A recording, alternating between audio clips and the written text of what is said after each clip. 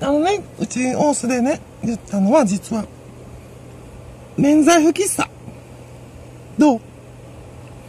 そのメイド喫茶の後は、あのー、なんやったかな。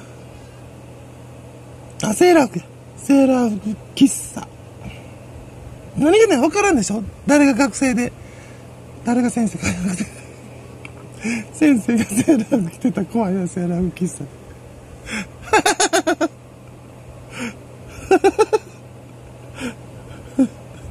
しばらくちょっと 笑っています。それな、先生がその、風俗、風俗夜間営業店、接待のあるな。そこでセーラー服着ることあるでしょ。アルバイトで。でも昼間のセーラー服着せて、ほんまに学校の先生がセーラー服着てたらどうするよ。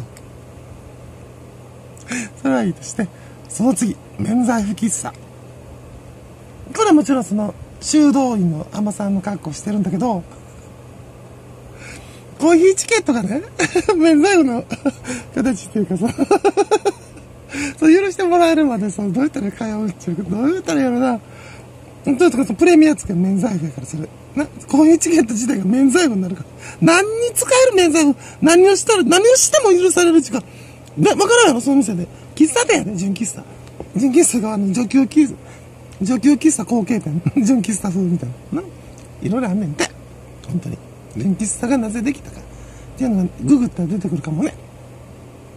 で、えー、っと、それで、その、なんていうかな、全集喫茶って昔からあんねん。それ、千の利休とかやっとって。それ、あれ、全集喫茶やね、実は。全集喫茶やったら歴史古いで、言ったけど。な、うちが作ったけちゃうし、威張る筋合いもないけど。でも、第一、威張ってへんねんけどな。ドヤが、ドヤ街でドヤが、あれ威張ってんのちゃうねん。どうやったらやるな。それドヤ街でもないし。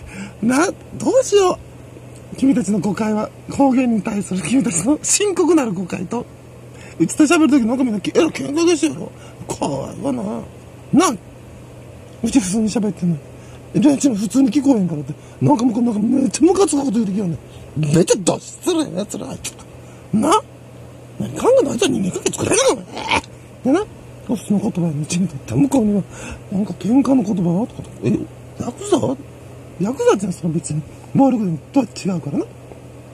ヤクザって暴力団ちゃうの、実は。で、現代ではな。みんなヤクザって言葉、あの、悪用してんねん、みんなが。あなた方が。報道とか、一般市民が、ヤクザっていう言葉を悪用してんのよ。な市民の方が。ほんまやで。その説明会続きっちりしてるやろ。まだ言われてるのか、あんたらは。な、これ、これ、あ今。魔法